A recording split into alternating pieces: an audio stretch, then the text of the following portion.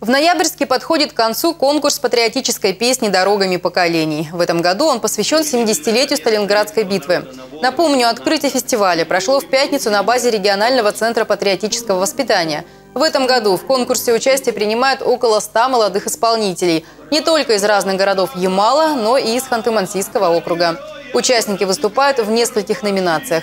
Это исполнитель песен, вокальная группа, дуэт и вокально-инструментальный ансамбль.